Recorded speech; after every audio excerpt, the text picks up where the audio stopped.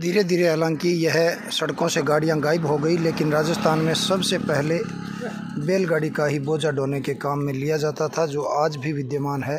राजस्थान के अनेक शहरों में इसको देखा जा सकता है। लाइक दें, कमेंट करें और शेयर करें।